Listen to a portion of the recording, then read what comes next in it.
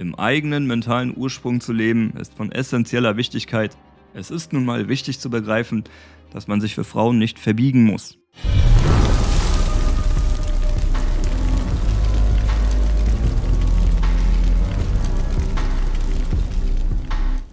Die meisten Männer achten in einem ungesunden Maße darauf, was eine Frau will und passen sich dem an, um ihr zu gefallen. Die denken sich, wenn ich das mache, was sie will, dann wird es ihr gefallen und als Resultat wird sie Gefallen an mir finden.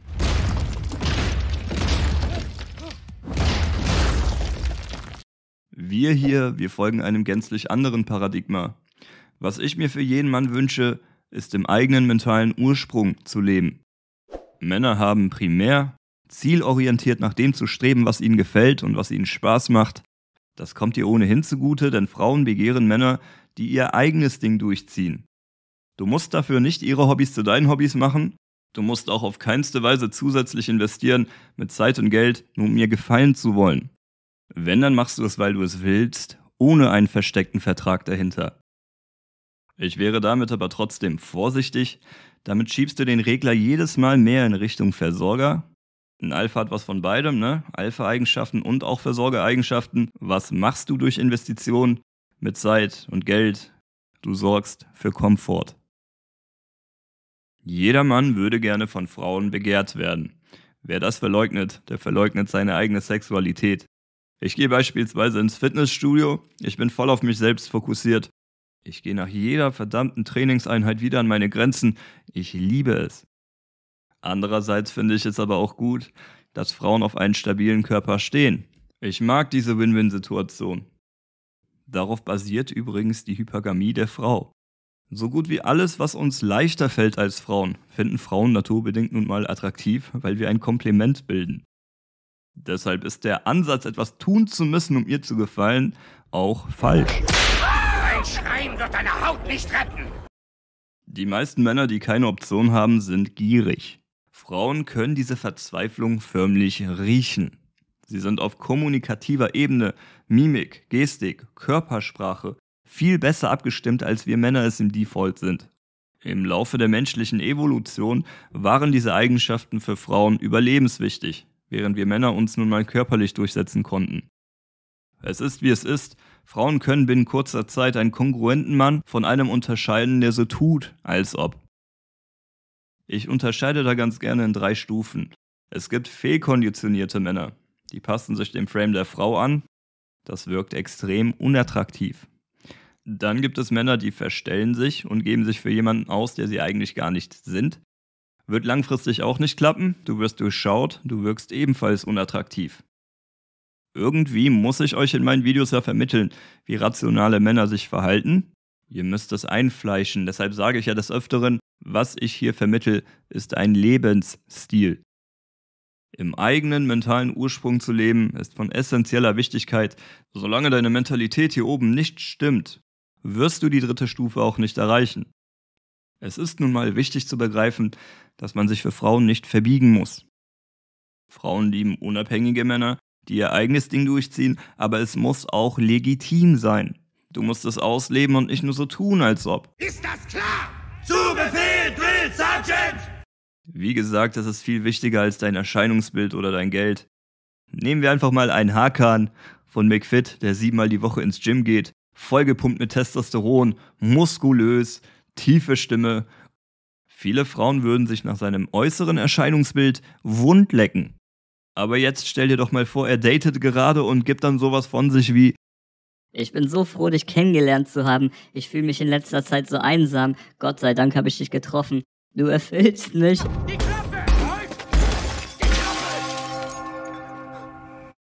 Ekelhaft, wird ihre Biologie sich denken, während sie die Validierung vielleicht sogar gerne mitnimmt. Das war nur ein Beispiel. Ich wollte eigentlich hier vermitteln, dass viele Optionen dich nicht zum Mann machen. Kommen wir mal zu der wichtigen Frage, wie gehst du mit deinem Durst denn jetzt um? Es gibt beispielsweise Knechte, die gehen auf die Straße, um ganz viele Frauen anzusprechen. Das Problem dabei ist, wie gesagt, dass Frauen deinen Durst regelrecht riechen können. Eine Sache machen die jedoch richtig, die akzeptieren, dass sie Frauen begehren. Die zweite falsche Herangehensweise basiert genau darauf. zu verleugnen, dass du Frauen begehrst. Das machen viele Red Piller auch falsch. Teilweise stecken die Monate und Jahre lang in der Red Pill Rage, die können sich gar nicht mehr öffnen. Du musst da eben darauf achten, dass es nicht in die Extreme geht, egal in welche Richtung. Du hast deinen Durst zu akzeptieren, nicht zu unterdrücken, was aber auch nicht heißt, dass du simpen solltest. Auch die Männer, die Optionen haben und es ausleben, werden den Durst niemals vollständig los. Ich bin auch durstig. Wir haben nun mal extrem hohe Testosteronwerte als Männer. Wir lernen jedoch viel besser damit umzugehen.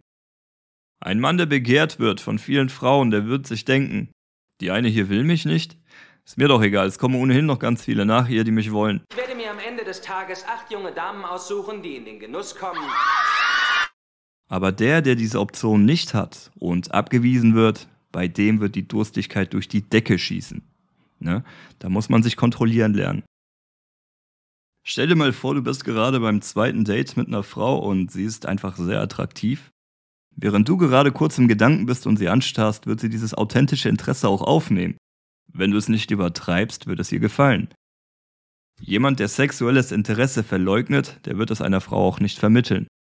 Wenn du dir also denkst, ich will sie nicht merken lassen, dass ich sie sexuell begehre, dann wird sie das auch so auffassen. Wie gesagt, Frauen sind auf kommunikativer Ebene sehr stark aufgestellt. Jemand, der seine Triebe nicht im Griff hat, der wird sie auch vergraulen. Und ja, es gibt fortgeschrittene Strategien. Ich vermittle ja in einigen meiner Videos, dass ich Frauen im Unklaren bezüglich meiner Gefühle zu ihnen lasse beim ersten Date, um zu gucken, wie sie darauf klarkommt ohne Aufmerksamkeit. Das würde ich als durstigen Anfänger aber nicht anwenden. Sammel erstmal ein bisschen Erfahrung. Akzeptanz und Kontrolle sind wichtig. Ja, du willst sie knallen. So funktioniert deine Biologie nun mal. Was willst du machen? Du willst aber auch wissen, ob sie es überhaupt wert ist. Du willst wissen, ob ihre innere Schönheit ihrer äußeren Schönheit entspricht. Ist das wahr? Auch wenn wir eigentlich nur Augentiere sind, durch dieses Mindset kriegst du dich trotzdem in den Griff. Setze ein paar Standards, an die du dich unbedingt hältst.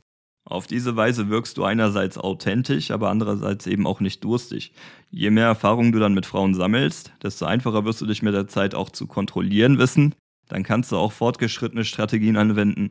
Dann kannst du sie auch mal im Unklaren bezüglich deiner Gefühle zu ihr lassen. Und dann ändert sich dieses ganze Spiel. Fakt ist nun mal, dass Frauen im Default Shit testen. Ich bringe euch das ja hier bei. Frauen können das ganz unterbewusst. Zum Thema Dating in der Kennenlernphase habe ich mal ein Video erstellt, wo ich auf die Top 10 Fangfragen eingegangen bin, die Frauen gerne stellen, um Männer zu testen. Würde ich dir an dieser Stelle hier mal empfehlen.